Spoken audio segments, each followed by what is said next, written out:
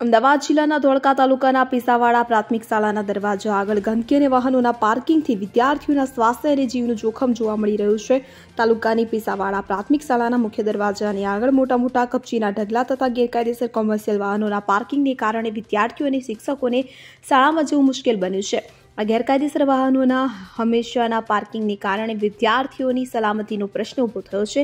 તથા શાળાના મુખ્ય દરવાજાની આગળ ખૂબ જ મોટા પ્રમાણમાં ગંદકી, કચરો, કાદવ અને ઉકરડા આજુબાજુ ભરાયેલ વરસાદી પાણીને કારણે વિદ્યાર્થીઓના સ્વાસ્થ્યનું જોખમ ઊભું થયું છે. આ બાબતને ગ્રામ પંચાયત અને ધોળકા રૂરલ પોલીસે ગંભીરતાથી લઈ તાત્કાલિક કાર્યવાહી કરવી જોઈએ. આવા સલામતી અને બિન આરોગ્યપ્રદ વાતાવરણમાં કઈ રીતે ભણશે ગુજરાત?